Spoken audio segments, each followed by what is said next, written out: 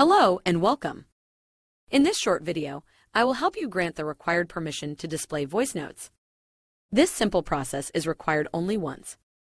Before we start, please make sure you are running the latest version of our application, Private Read. If not, please update it from the Play Store.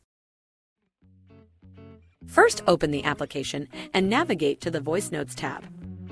Now tap on the Grant Permission button. This will open the File Explorer where you ultimately have to choose the WhatsApp Voice Notes folder. We will guide you through the steps of doing so. First, from the File Manager, you might need to enable the Show Internal Storage option if it's not yet done on your device. This is done by selecting the Show Internal Storage option from the File Manager menu. This step might slightly differ based on your device model. Once you have enabled this option, please choose the Internal Storage folder from the main menu. This folder is usually named after your device model.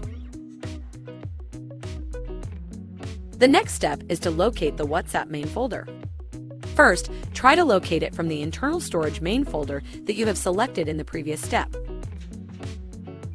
Once found, please tap on it. If you are not able to locate the folder, please head to Android folder, tap on it to open it, and then tap on Media, and then on com.whatsapp, and finally tap on WhatsApp. Now from the WhatsApp folder, first tap on Media, and then on WhatsApp Voice Notes. Finally, tap on Select or Use this folder. When you successfully finish those simple steps, the voice notes will be loaded in a matter of seconds. In case you select the wrong folder, you will be prompted with an error message and you will have to repeat the process again.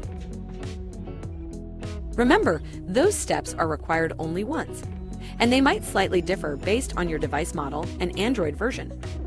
In case you are having difficulties, our support team is ready to help you. In such cases, please send us an email to frankyaps16 at gmail.com with detailed information about the issues you are facing, in addition to some screenshots to help us better understand the problem. We guarantee fast replies and full support. Thank you for using our service.